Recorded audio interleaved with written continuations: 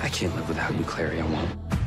His love for me matters more than his loyalty to the Institute.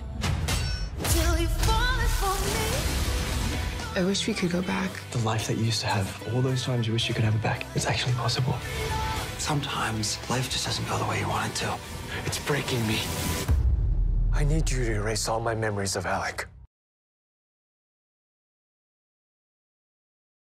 Guten Tag, willkommen! Welcome to the Shadowhunters YouTube channel. Here you can find episode clips, Exclusive behind the scenes content. sneak peeks from future episodes, and so, so much more. You know what you were about to do? Hurry up, press the button, it's somewhere around here. Don't forget, don't forget, don't forget. Subscribe right now. See you guys on there.